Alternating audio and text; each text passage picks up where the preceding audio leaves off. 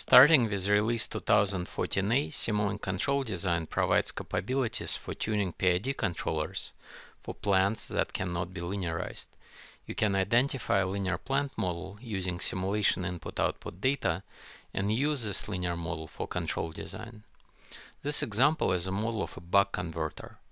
The model uses a switching power supply to convert a 30 volt DC supply into a regulated DC supply.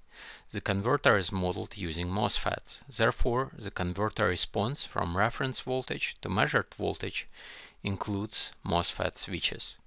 Voltage regulation is done by a PID controller, which is modeled with a PID controller block inside of this feedback controller subsystem. As you can see, the PID controller is initialized with default gains. Let's run the simulation. We see an initial transient to get to a reference value of 15 volts. At 2.5 milliseconds there is a disturbance, current load is applied.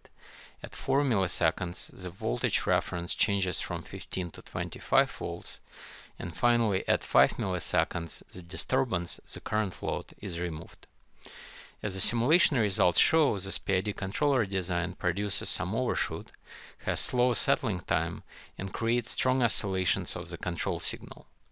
You would like to tune a PID controller to improve the performance. When we launch a PID tuner, it tries to linearize the model. Because we have MOSFETs in the linearization path and MOSFETs are discontinuities, the exact linearization of the model fails. We will use simulation input-output data to create a linear plant model. To do that, we will select the option to identify a new plant and we will simulate the model to obtain input-output data for system identification. This requires system identification toolbox. The tool that opens up simulates the plant seen by the controller. The PID controller is temporarily removed from the model. An input signal is injected where the output of the PID controller used to be. The resulting signal at the point where the PID input used to be is logged. This input-output data describes the response of the plant seen by the controller. The PID tuner uses this response data to estimate a linear plant model. We next need to configure the data generation signal to use a step input signal. We specify the sample time, which is the controller sample time. We also specify the offset. This is the controller output value that puts the converter in a state where the output voltage is near 15 volts and gives the operating point around which to tune the controller. We also need to specify the onset time. This is when the step will happen. We set this time so that converter has enough time to reach the 15 volt steady state before the step change is applied. We specify the step amplitude to be 0.4. This will make the actual plant input increase from the value of 0.5 to the value of 0.9 at onset time of 3 milliseconds. We can now run the simulation and collect the I.O. data. In this plot we see three curves. The red one is the offset response. This is the result when we introduce a constant offset of 0.5 to the model. As we can see, the model undergoes the initial transient to convert to a steady state. We then see when the current load is applied, when the reference voltage changes, and when the current load is removed. Remember, the signal is the control error signal, the difference between the reference voltage and the measured voltage. The blue curve is the control error signal when the step change in the plant input is applied.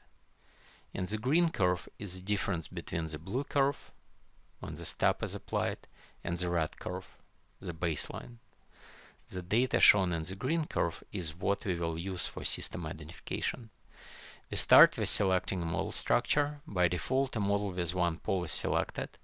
We can interactively tune model parameters, pole location and system gain to make the model output match the data. We can try different model structures, for example a model with a pair of complex conjugate poles. We can tune model parameters interactively or tune them automatically. Once we have a good fit between the model and the simulation data, we can save the obtained linear model for PID tuning. Our controller output is the duty cycle for the PWM and must be between 0 and 1. So let's add another plot to look at the controller effort and let's look at the reference tracking and controller effort plots side by side.